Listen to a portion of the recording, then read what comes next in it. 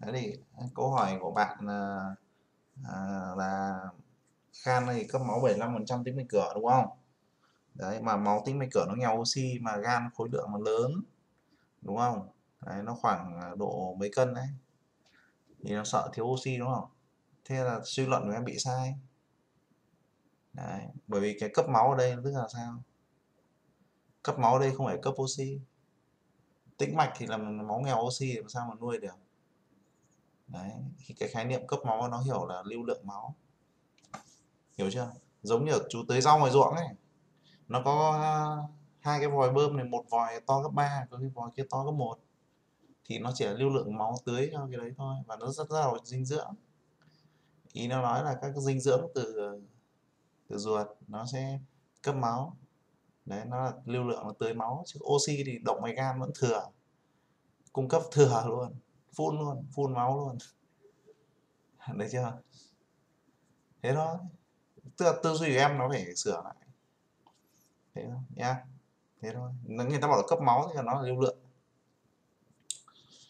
Và cái ờ, cái ờ, đó thì à, nó sẽ hiểu là khi mà khi mà một người bị một người bị tắc các cái tính mạch cửa đấy thì đương nhiên thì một điều men gan nó sẽ tăng. Đó kể cả động mạch hay là tĩnh mạch. Và ở trong điều kiện ngược lại thì khi mà khối u gan ấy, thì cấp máu vào cho nó thì lại à, đi từ hệ thống động mạch nó tạo thành các cái hồ máu nó tăng sinh mạch. Đấy thế thôi. Ok bạn hiểu chưa? Thế nên này phải sửa bạn à, Khải. Đấy bạn thắc mắc thì là rất là tốt. Thì ờ, khi mà học các bạn nên thắc mắc nhiều câu hỏi thì các bạn sẽ tiến bộ được. Người hay thắc mắc là người luôn đi tìm câu trả lời. Và nếu mà không lấy được thì anh sẽ giải đáp cho. Bảo Uyên tránh hay có hỏi gì không? Đấy, nắm được các thành phần hóa học chính của gan chưa?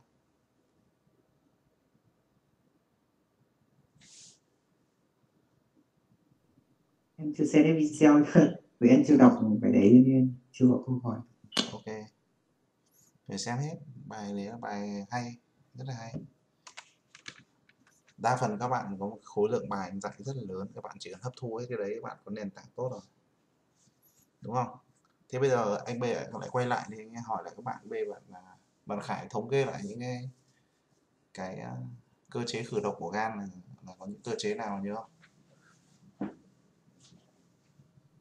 Này em chưa chưa chưa, chưa em chưa xem được đấy. Nếu mà gan không khử độc được thì sao? Mà gan khử được thì em nghĩ chắc là nó sẽ nó sẽ, nó sẽ ứ trệ trong các tế bào gan. Ứ trệ không ứ trệ đừng suy luận như thế. Yeah. nghĩa là kiểu nó bị như là nó không thải được thì nó sẽ phải tích lũy ở trong các mô của gan em nghĩ mình hợp lý hơn. à, ngoài các mô của gan còn tích lũy tích lũy ở đâu? nữa? Dạ. Ngoài tích lũy ở gan thì còn tích lũy ở đâu nữa? Nó sẽ tích lũy gan thì nó còn đi vào máu rồi đi đến các mô khác nghĩ sẽ lên não và đúng rồi. Có bệnh lý gan. Gọi là hội hội chứng gì nhỉ? Hội chứng não gan đúng không? Hội chứng.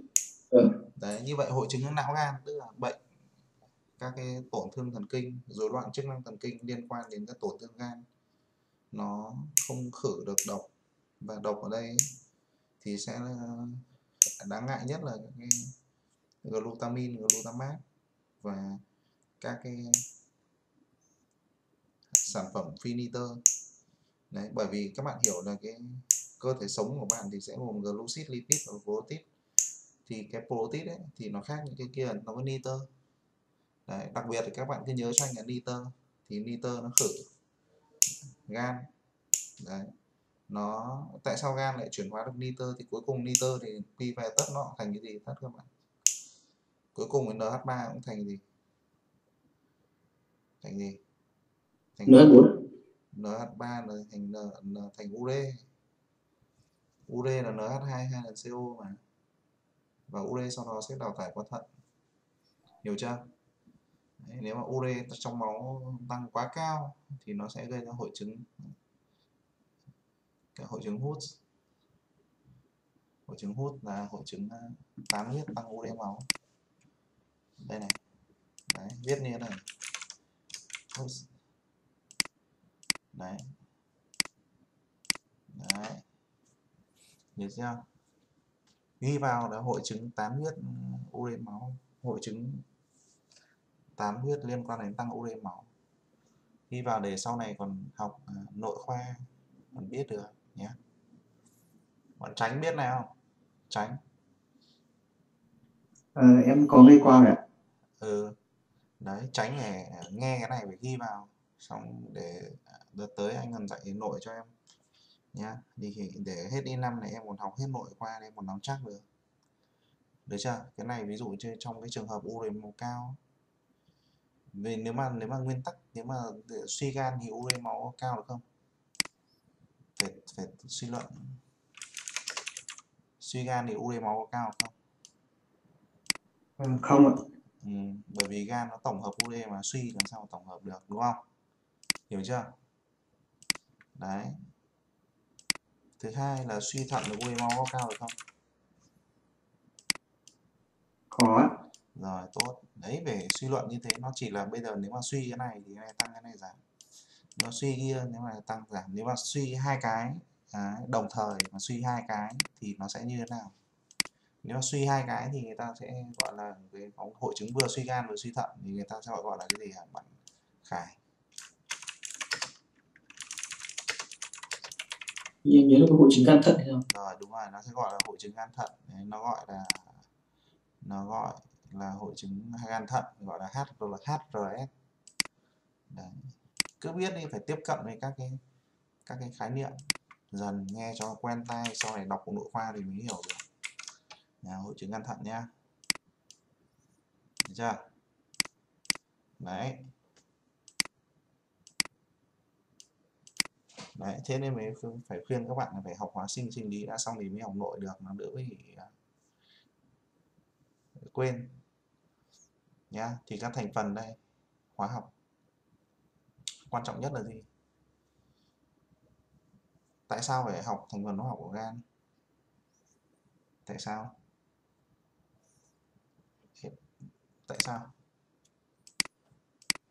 Thì bao giờ cũng phải thắc mắc là học cái này này. Ứng dụng gì? Mà trong bệnh gì?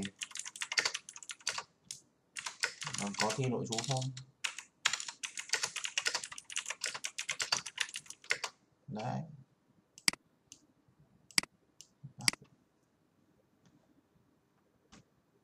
Ừ. bạn bảo phan bảo ngân ngọc ngân. Gan thì nó dự trữ glycogen đúng không? Thế glycogen thì còn được dự trữ ở đâu nữa các bạn? Trong hóa sinh glycogen cơ. ở hai nơi. Cơ. Thứ nhất là gan hay là Ở cơ cơ ừ, mà nhớ anh dạy thì glycogen trong cơ nó không bao giờ thành glucose trong máu được. Bởi vì sao? Bởi vì cơ nó không có men gì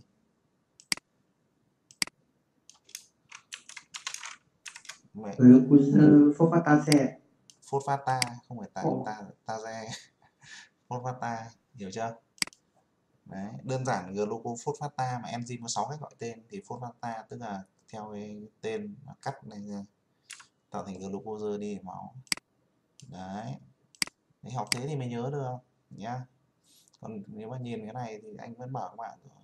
Đấy, chứng tỏ các bạn nhớ bài, rất nhớ bài đấy. Đấy, nhớ chưa? Đấy, mà nếu mà nó nó thiếu cái men ấy, mà gan mà nó có thiếu men cắt này này thì lập tức glycogen nó sẽ ứ hết ở đâu? Nó sẽ ứ ở đâu? Nó sẽ ứ ở trong gan ấy. thì nó gọi là cái bệnh gì trong sách nhỉ? Bệnh gì. Đấy, tại sao anh có thể nhớ hết sách hóa sinh được? Tại vì anh suy luận. Nó gọi là bệnh gì?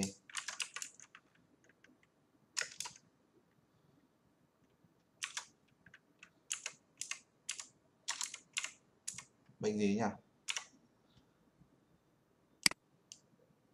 Đấy. Vôn rớt đúng không? Biết trang bao nhiêu hôm trước dạy glycogen giải giải điện áp rồi. Đấy. À, Trần Công Ngân có nhớ không? Khải nhớ không? trang mở sách trang nào.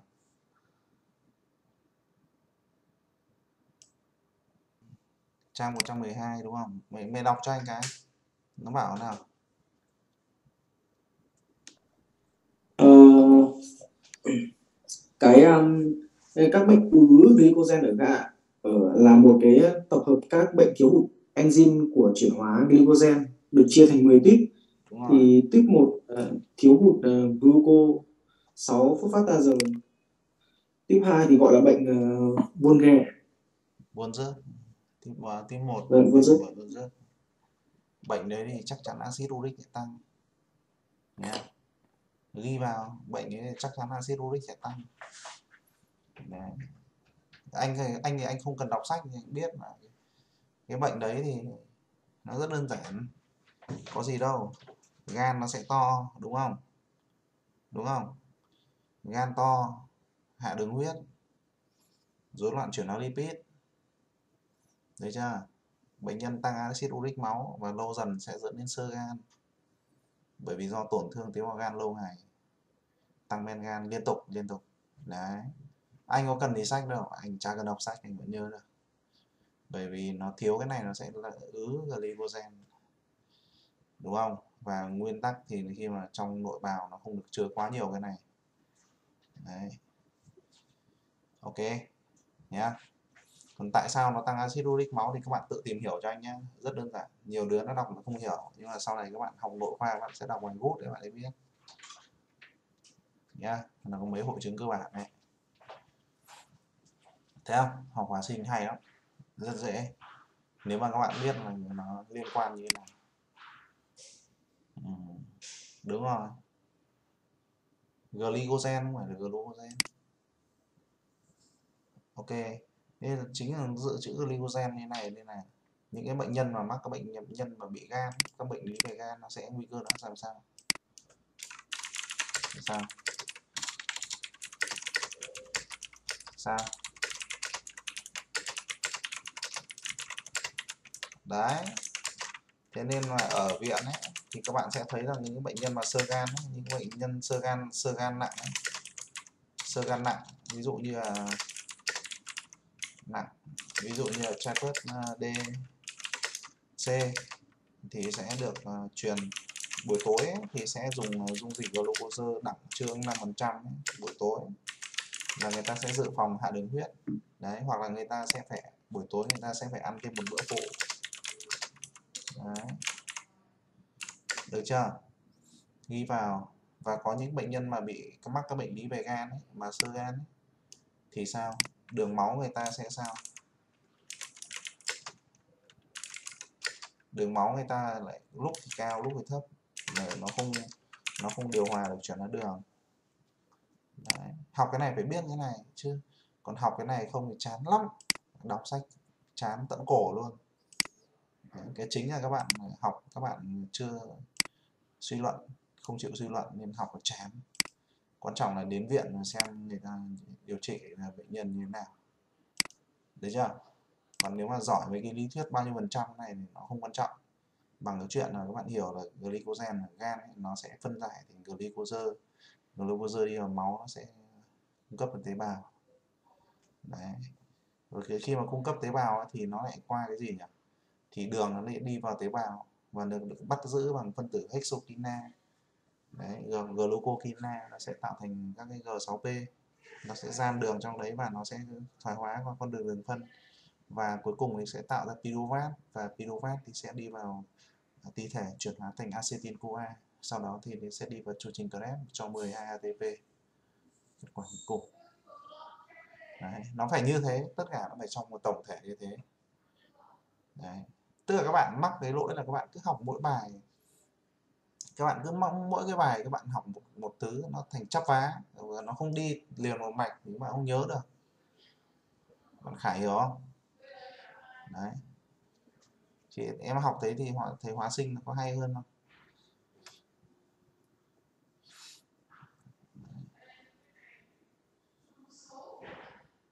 Đấy. Thế bây giờ khải có biết cái dự trữ vitamin tác dụng gì không? Vitamin. Vâng. vitamin thì dự trữ các tác dụng thì chúng mày nói xem nào. Vitamin gì Ờ, biết cái này nói cho anh xem nào. Anh chỉ biết em biết cái này thôi. Đấy. cái này em nếu mà thiếu chưa chưa. A cả cả ờ, thiếu cái này thì sẽ gây ra bệnh gì mà nó giảm PT phần trăm cái triệu chứng gì nhỉ? giảm giảm cái uh, yếu tố máu cái prothrombin này. Ừ, đúng rồi. Bởi vì cái này nó là cái gì cái vitamin K bản chất nó là gì?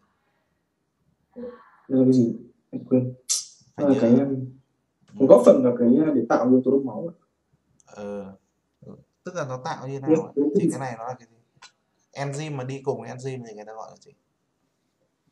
Uh, coenzyme. Đúng rồi. Thì đấy coenzyme đúng không? Vâng coenzyme. Đấy. Coenzyme đúng không đúng không rồi, thế là tốt rồi. Đấy, cô là cùng cùng enzyme đi cùng nó. Nó là tiền yếu tố đông máu chuyển thành cái này, đúng không? Nó dẫn xuất. Đấy. Thế là tốt rồi. Anh chỉ cần em biết cái này thôi là là anh sẽ dạy được em nhé anh sẽ dạy được em đỗ nội chú yên rồi nhưng mà nó phải chuẩn, học nó phải chuẩn tức là nó tiền yếu tố đông máu nó chuyển qua này thành coenzyme đúng không?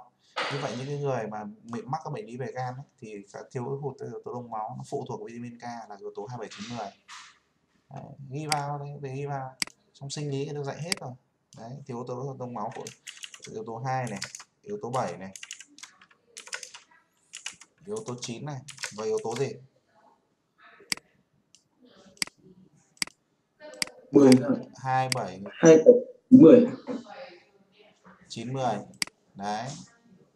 Sau này học sinh lý anh sẽ biết là định nghĩa 27910 liên quan đến các yếu tố thuộc phụ thuộc con đường ngoại sinh là chủ yếu.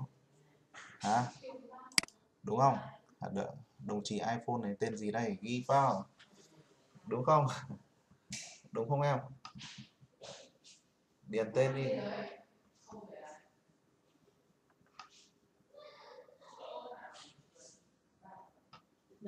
Ok. Đấy, tốt rồi. Ghi vào đi, nhá. Phải học cái, này. Chức năng gan thì nó có rất nhiều chức năng. Tạo mật. Này. Như là tạo mật này, giải quyết được gì?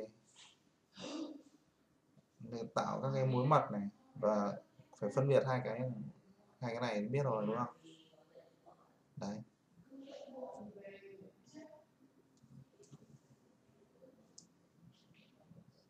Khi mà nó liên hợp như thế này. Khi mà nó nó liên hợp như thế này, thì sao?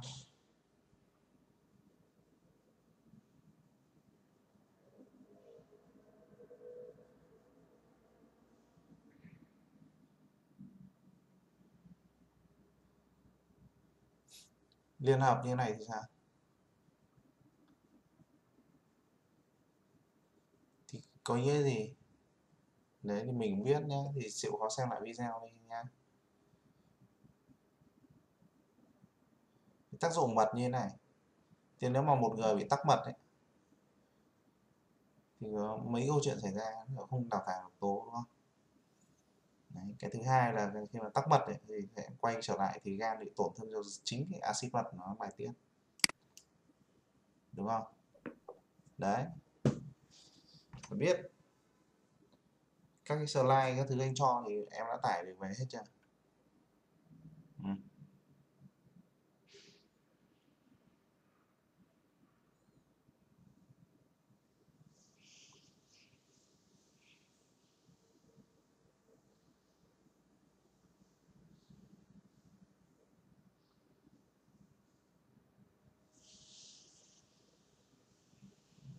thôi thì uh,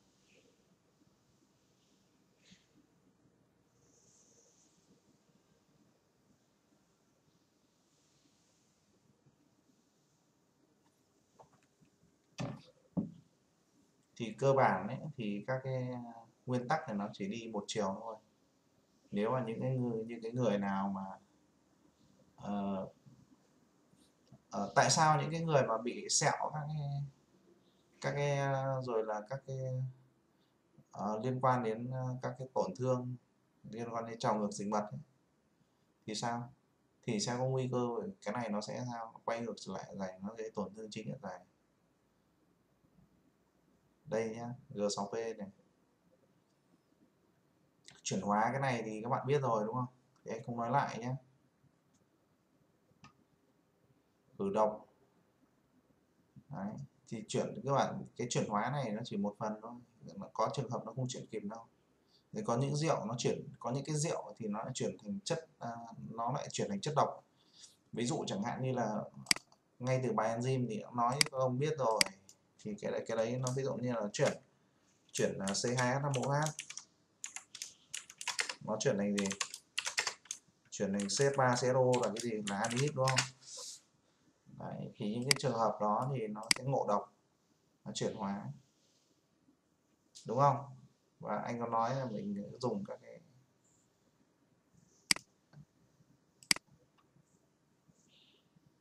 aldehyde và có những cái mà uh, methanol nếu methanol thì CH3OH Đấy, thì nó sẽ chuyển thành à, uh, à, uh, HCHO học hóa học biết rồi đúng không? Cái này lúc 12 học rồi đúng không? Thì cái chuyển thành các cái formaldehyde cái rất độc. Nha chứ không phải là cứ không phải là không phải là cứ chuyển thì là tốt đâu. Nhiều khi nó chuyển ra thành cái chất độc hơn đấy thì mình phải dùng các cái các cái cơ chế cạnh tranh mình à, chống cái cơ chế khử độc phải nhớ nhá. Đấy nó khử khử anhydride cetone phải oxy hóa khử thủy phân liên hợp. Những cái tác dụng gì? Nếu mà trong trường hợp em mình à, các cái mình sẽ à, bổ gan mình sẽ cấp cho nó những cái cái cái sản phẩm để để nó sản phẩm để nó liên hợp. Hiểu không? Nên là mình đưa nó sản phẩm để nó liên hợp. Hiểu. Nha. Yeah. tức là mình cung cấp nguyên liệu thôi chứ làm gì có các cái thuốc nó kích thích tế bào gan khử đâu nó vẫn là cơ chế tự cơ thể. Rất nhiều chức năng. Đấy. Rất nhiều các cái chức năng đây các bạn biết rồi là nơi thoái hóa các axit amin các cái xét nghiệm đây, thì các bạn học theo cái này thôi. Đấy, hôm nay chỉ review thôi, vì bài đã dạy các bạn rồi, hôm nay chỉ dạy tất cả các thắc mắc đấy.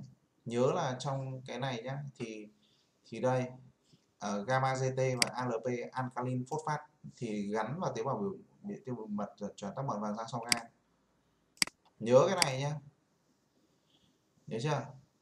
Đấy. nên là cái khái niệm là, là sau hay trước thì là khái niệm sau hay trước tế bào gan. Chứ chứ không phải là cái gan nhá. Đây là tế bào gan không phải cái gan. Tự gan tiết ra mật đổ đường mật. Đúng không? Thì những cái trường hợp mà tổn thương đó thì phải giúp mình để khô mấy cái này thì hôm nay chỉ review thôi chứ dạy các bạn rồi. Trong cái này chú ý cái những cái trường trường hợp mà tăng gamma GT này Đấy. thì có những cái trường hợp nó nó tăng gamma GT nó không phải là gan, nó gamma glutamine transferase thì nó là nó là, nó có thể là thận và tụy nên nó tăng ngoài thì một là do rượu, những cái này là uống rượu cái tăng luôn này. hoặc là các cái CCl4 hoặc halothan qua một số khí mê tăng mật u gan bệnh lý tụy tự nhiên trung cấp. Nhớ nhá. Thế nhưng mà trong các cái tổn thương tụy viêm tụy nó là này tăng nhưng mà chủ yếu cái này liên quan đến các cái tổn thương ăn rượu, nhưng mà đi viện nhá. Đấy. cái urobilinogen nó không ý nghĩa nhiều đâu, nhá. Nó chỉ là sản phẩm đào thải qua nước tiểu thôi, mà cái chính các bạn học cái bilirubin này, những trường hợp trước gan tại sang gan và sau gan. BSP này, trên lâm sàng nó không dùng. Các xét nghiệm này thì nó có bốn cái. Đặc biệt chú ý cho cái này này, sau này mà học nội khoa ôn thi nội chú này, phải nhớ này, cái corinetera này, cái CHE này liên quan đến các cái ngộ độc. Anh biết bài gì không? Bạn biết bài gì? Đố bạn biết.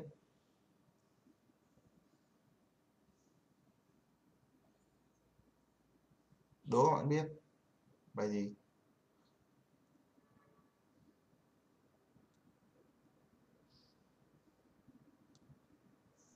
ờ, ngộ độc paracetamol. Không phải. CSI à?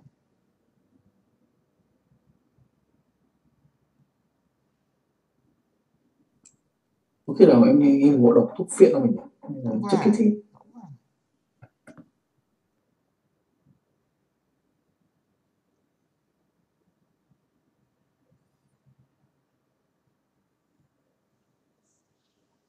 hả ngộ độc thuốc trừ sâu kháng men à? Ừ, đúng rồi đấy trừ sâu các cái thuốc ờ, trong trường cấp cứu. Colinetera. Đấy, định lượng các em này. Đấy, bạn nào có sách nội anh cho các bạn một đống sách nội khoa sách bản PDF cho hết rồi còn gì nữa nhỉ? Chưa học anh học chưa này gửi anh ừ, chắc có một số các bạn anh quên chưa gửi đúng không anh sẽ cho các em một uh, các cái sách bản PDF cả bệnh học mới mà các em đọc. Thích thì in ra nhưng mà phải học lấy đấy thì mới khá được. Bởi vì anh bảo rồi thì cái cách học vẫn là quan trọng vẫn là học cái này để làm gì? À, có, trong bệnh gì và có thi nội chú không? Bao giờ phải học thế? Mới giải quyết được vấn đề. Chứ không phải là hôm nay học để đọc ba cái men này xong chọn mấy câu test xong quên hết. Học thì chả giải quyết được gì học sau quên hết. Đấy. Khải có bệnh học nội khoa chưa? Mua chưa? Em có đủ rồi mở em ra. từ sản nhi ờ, mở sách ra tìm cái phần đấy. Tìm đi trong chương cấp cứu ấy cái bài ngộ độc ấy. phải biết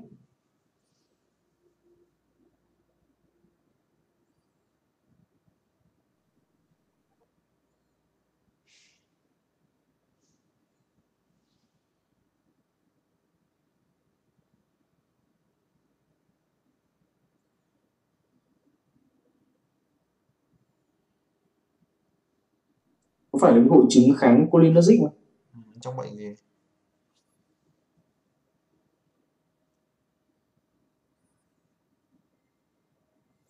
Trong bệnh gì?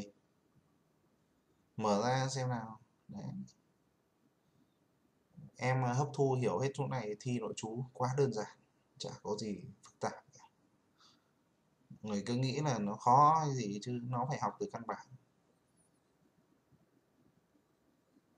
Chứ không có một cái test nào nó giúp em em thành thần được đâu nó phải từ căn bản.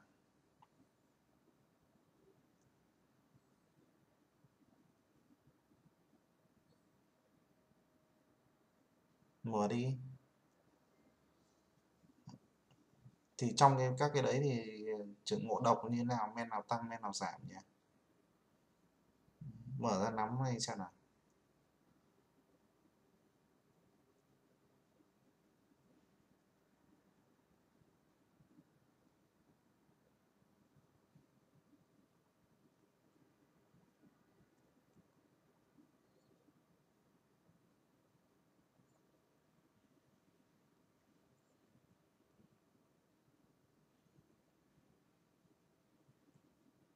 Được chưa?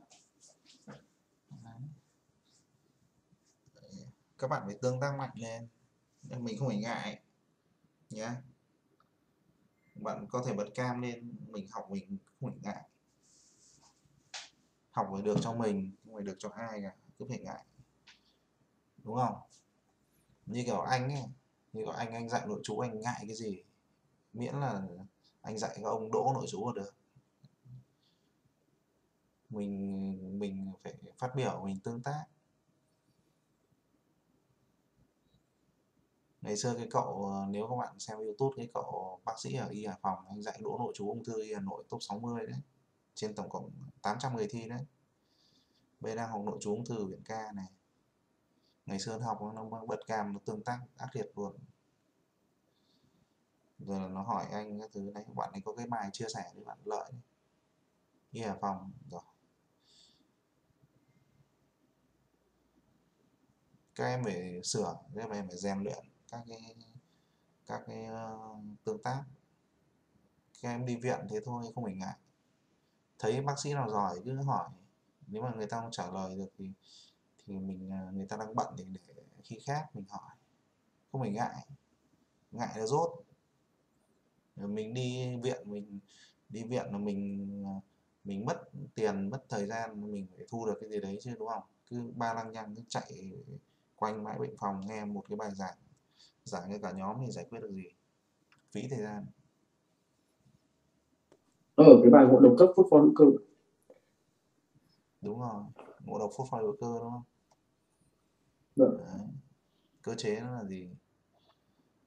Cơ chế là gì? Thì, thì trong cái bệnh đấy thì men nào tăng men nào giảm. Đây. trong này có hết đây này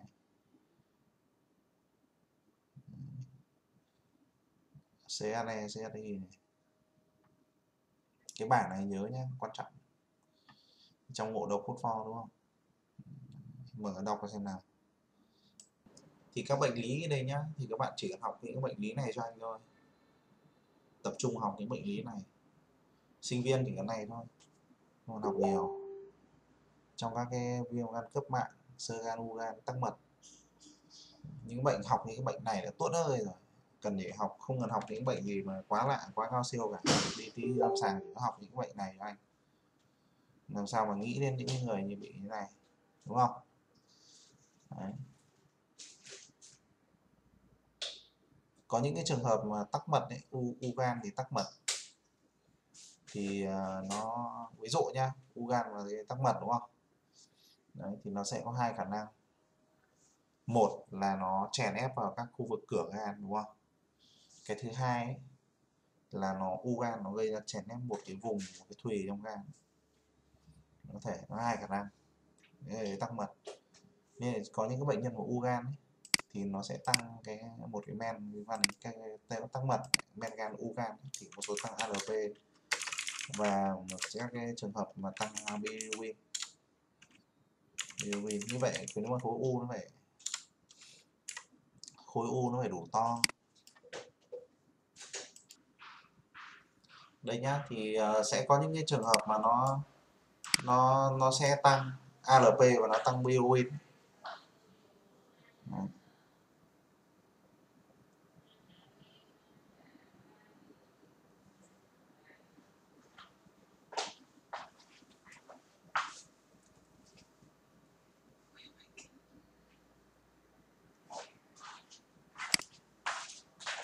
Đấy. thì có những trường hợp u gan thì, nó sẽ tăng thế này mình biết.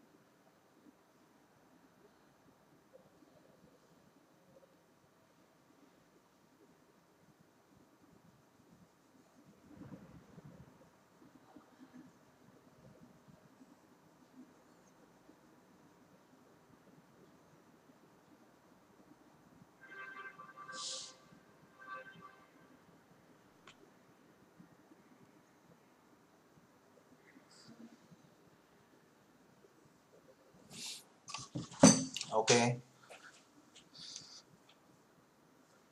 Các cái này thì các bạn phải học cho anh nhé đơn giản, ví dụ thi người ta hỏi là cái HCP là ARN thôi. Còn cái HBV thì nó là ADN đấy HBV DNA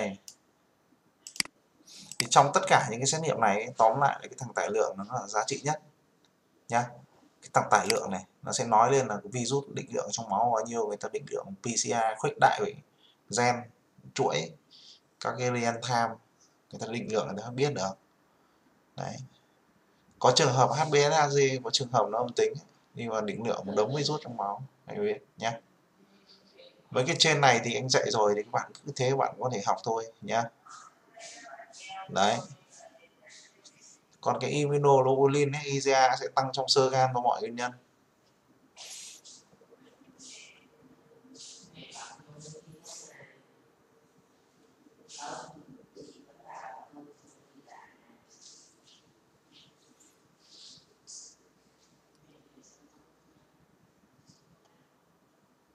Còn thời gian prothrombin đấy định lượng phi glucogen thì prothrombin là tiền chất enzyme tham gia quá trình đông máu phụ thuộc vitamin K do gan sản xuất. Cái này anh biết rồi đúng không? Cái này là cái cái uh, coenzyme cái hóa sinh sẽ giải thích của mình biết. Nên những cái người ấy, mà dùng các thuốc kháng vitamin K các thứ ngộ độc ấy, một số cái trường hợp mà sử dụng dùng các thuốc kháng vitamin K thì mình những trường hợp đó thì mình phải giải bằng vitamin K. Mình tiêm nhá để trong tim mạch ấy, mình tiêm đấy. Được chưa? Mình có thể mình tiêm những cái này mình dùng tiêm tĩnh mạch và tiêm dưới da được.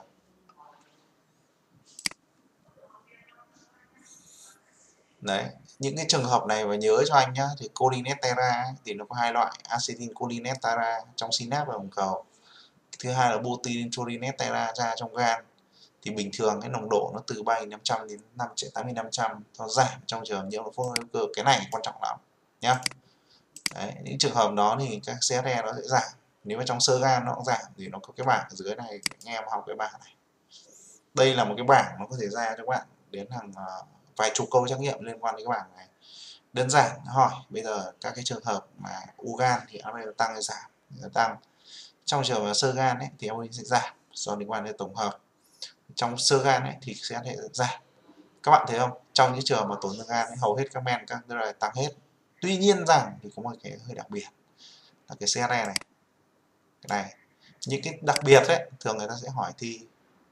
Nhớ nhá cái các bạn phải ghi vào. Những cái, cái mà đặc biệt ấy người ta sẽ hay hỏi. Đấy chứ còn nếu mà cái dễ bị hỏi sơ gan bilirubin tăng hay giảm thằng nào chẳng làm được thì làm sao mà được thi nội chú được. Ok? Nhá. Đấy chưa? Trong cái bảng này có cái gì mà không hiểu giải thích giải thích cho trong cái bảng này các bạn hỏi gì không? Tránh hỏi gì không? Không Đấy. tránh phải trong hết tháng 12 này em phải học hết hóa sinh và sinh lý đi nhá. Nhanh chóng học xong để còn sang năm thì bắt chuyển học nội đi. Dạ vâng. Ừ học nội nó mới tức là hòa sinh học nội nó mới nó mới khiến em khác các bạn khác được. Còn hai môn này nó là nền tảng rất quan trọng. Cố gắng đi hoàn 12 đọc liên tục đọc xong đi. Đấy, trong cái bảng này tránh không, không hiểu cái chỗ nào hỏi bất kỳ cái nào anh giải thích nào không hiểu chưa cái thời gian PT thì nó tăng nhưng mà tỷ prothrombin nó sẽ giảm. Nhớ nhá nhớ chưa? Hai cái khái niệm thời gian prothrombin là PT phần trăm nó khác nhau cái này là tỷ prothrombin tức là phần trăm ấy, là giảm. Còn thời gian tức là thời gian đông máu ấy chứ còn gì nữa. Thời gian đông máu ngoại sinh sẽ tăng đúng không? Bình thường mua là 13 15 thế là tăng lên. Trong cái bảng này tránh không hiểu gì không? Hỏi giải thích cho.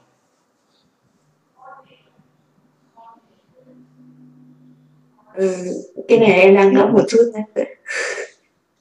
ừ. không hiểu bất cứ cái gì anh có giải thích hết tất cả mọi Vâng. thứ đều anh có đều có thể giải thích được cho các em kể cả bệnh học nội khoa bất cứ một cái gì có thể giải thích được hết không có cái gì là không hiểu đến tận cùng được cả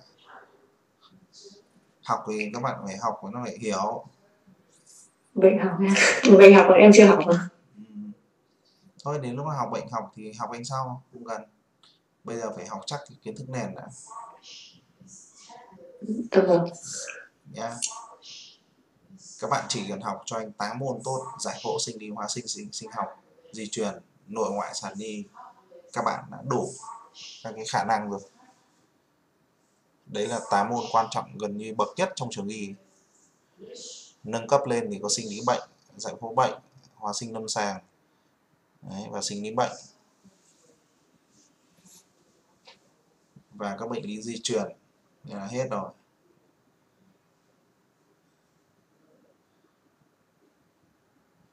Y bé có thể giỏi y lớn lớn. Nhưng mà y lớn mà không không có người chỉ bảo rồi y lớn không có không có chăm chỉ, y lớn không quên những kiến thức cơ sở thì y lớn rốt lên y bé là có thật.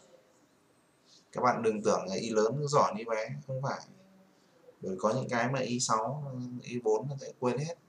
Các bạn đấy thì alkalin trong trường hợp tắc mật để tăng trong sơ gan ấy, thật ra thì alkalin phốt phát ta kiềm mật sẽ tăng. Nhé trong những trường hợp là những ông nào mà bị tắc mật ấy, trong sơ gan thì nó cũng sẽ tăng thôi.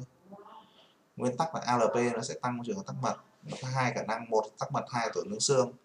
Bởi vì ALP có là hai nơi một là trong mật hai là trong xương nhé cái ALP này một là trong mật hai là trong xương nhé nhớ chưa? Ghi vào.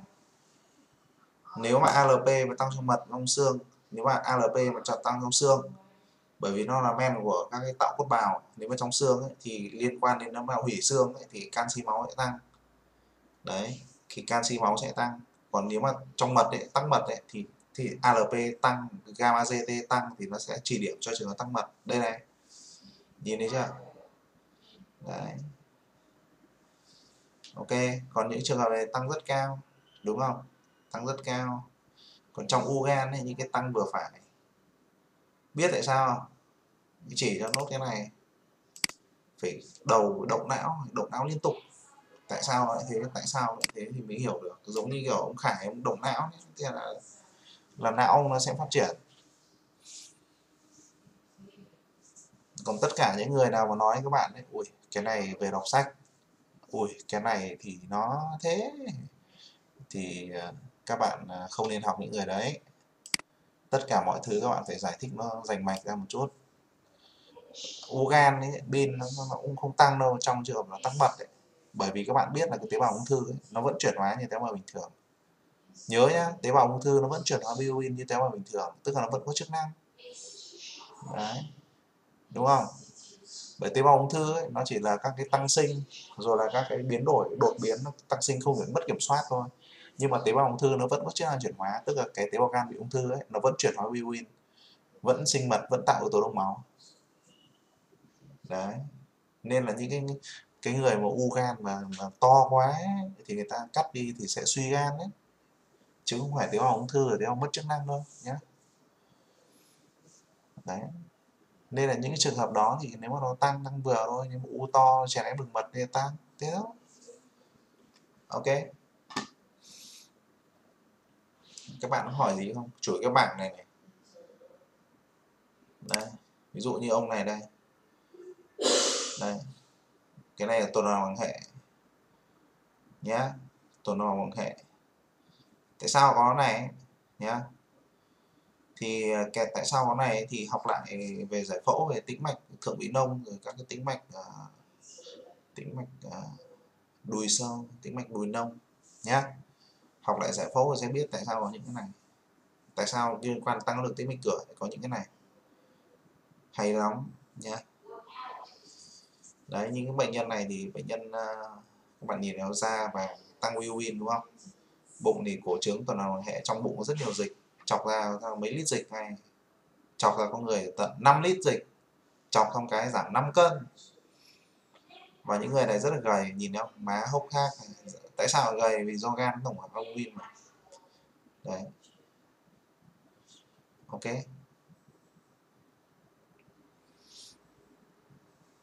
Nhé. Yeah. nhìn thấy cơ chưa? Cơ teo này. Đấy tại sao teo bởi gan nó là nơi các chuyển hóa các protein? Đúng không? Những trường hợp đó thì dễ gầy sơ gan, ít người béo chúng ta còn dễ gầy anh đoán bà này do chắc là tổn thương gan do virus, còn ông ông ông này là tổn thương gan do rượu. Ok nhé yeah.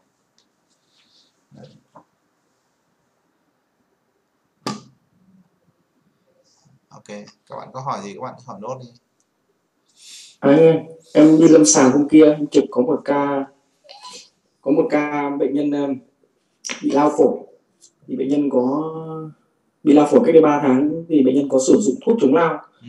thì uh, sau đó bệnh nhân xuất hiện cái sơ gan em muốn hỏi chút là cái thuốc đấy thì cái cơ chế gây sơ gan của ông nào à, cái thuốc này là người tên thuốc này là nhưng mà mà bệnh thấy À. bệnh nhân bảo là bác sĩ nói là cái thuốc đấy sẽ gây về cái bệnh lý về gan viện nào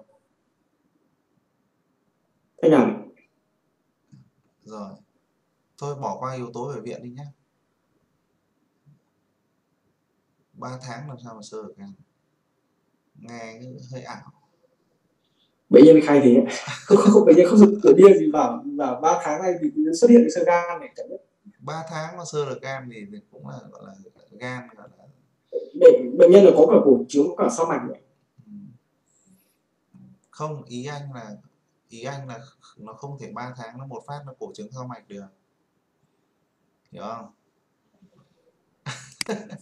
Đấy, à, Nhưng thế ba, ba tháng làm sao mà sơ được gan? Em chưa nhìn cận lâm sàng em chưa biết là bệnh nhân này có bị có sử dụng có sử dụng rượu không? Sơ gan rượu. Nhưng bảo bệnh nhân ở nhà không có rượu. Bây giờ anh uống 2 lít ngày anh bảo em là anh chả uống bởi vì những bệnh nhân sơ gan thì do rượu thường hay nói dối. Đúng không? Giống như ở chú ra Vâng. đường ấy chú nghe cái thằng ờ, nó cầm kim tiêm nó trình bày không? Không Thì mình không mình không mình, mình không được tin quá. Nha tin quá. thế là sẽ thế, thế mình để mình hỏi người ta là sao người ta uống rượu ấy à? Hỏi người nhà. Hỏi người nhà này ơ người nhà người ta nắm được đúng không? Hỏi cái người ở bệnh nhân ấy. đúng không? Mà nếu mà uống rượu nhiều thì người ta sẽ có các hội chứng cai. Hội chứng cai rượu. Nên trường hợp mà uống quá nhiều rượu.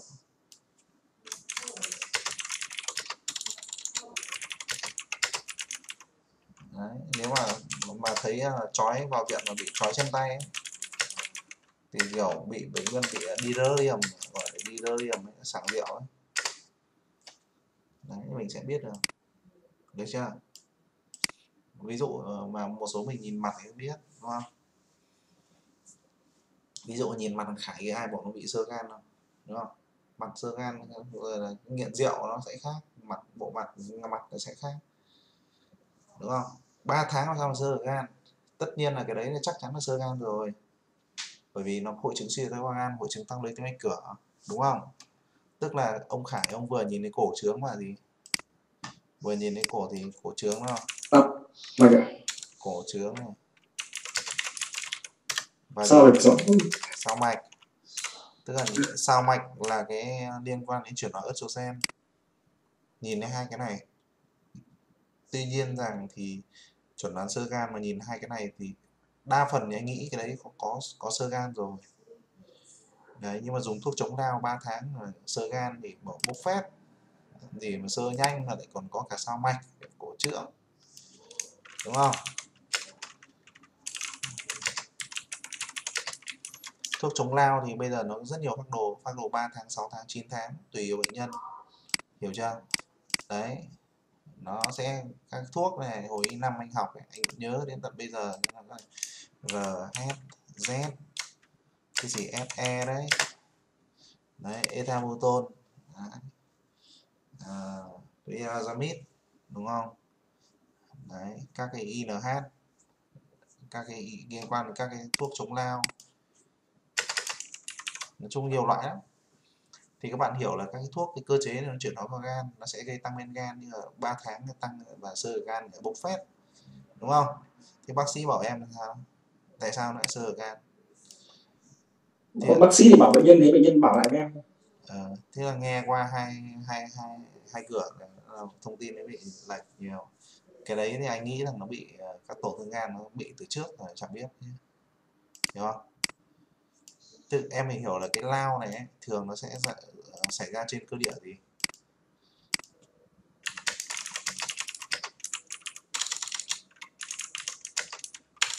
Trên cơ địa gì? Suy giảm miễn dịch. Miễn dịch. Đúng rồi. Những bệnh nhân suy giảm miễn dịch thì gồm gì? Có thể dùng rượu đúng không? Vâng.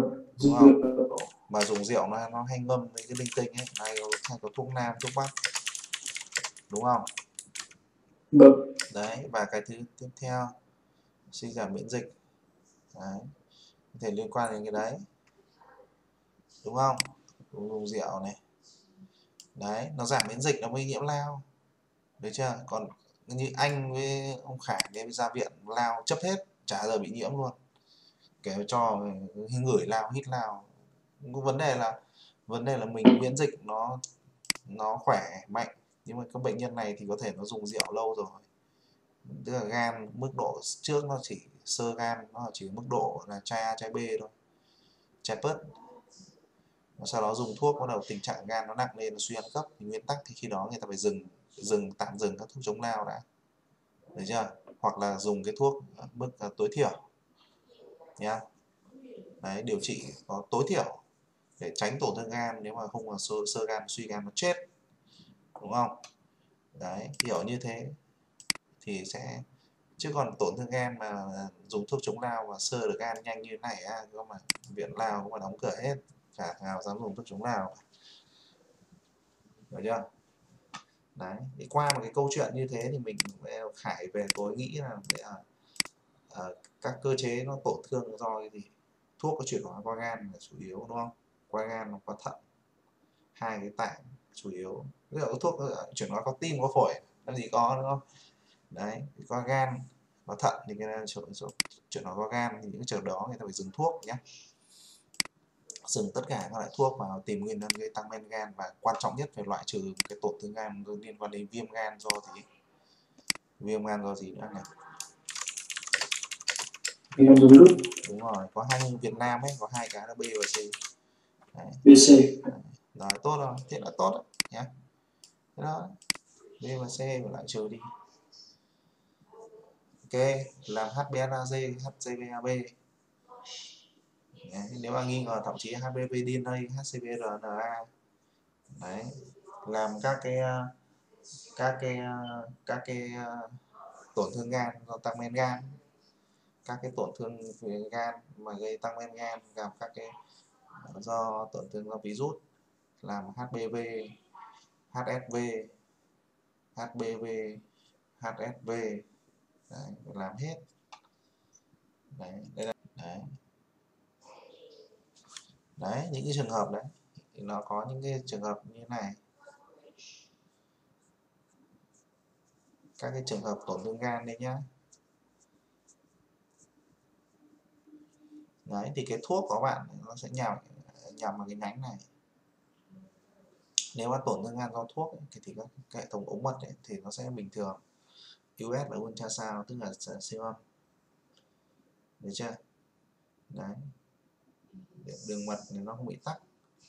Cái đấy do dùng thuốc này. Được chưa? Tất mình phải làm hết, nát các thứ tổn thương do rượu được chưa? Trường hợp là nặng thì mình phải cần thiết phải sinh nhất gan, tìm nguyên nhân. Đấy là tất cả này. Trường hợp mà những cái trường hợp mà ALT nó tăng nhẹ đấy. Thì ALT nó sẽ dưới 5 lần cái ngưỡng unlimited từ giới hạn trên của giá trị bình thường. Một là do các liên quan các nhiễm mỡ. Hai là do rượu. Nhiễm mỡ không có rượu. Do rượu do virus do hema hemochromatosis được các bệnh rối loạn chuyển hóa sắt. Do thuốc do AIH các cái à, tự miễn. Rồi là các cái liên quan đến các cái đây tự miễn các cái A1AT alpha 1 là cái anti gypsin bệnh nguyên sơn, rồi chuyển nó đồng khác các bệnh về các cái đường mật.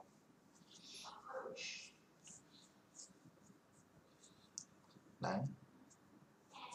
Cái này ở trong quyển sách tiêu hóa người ta cũng dạy hết. Thì cái đấy hiểu chưa?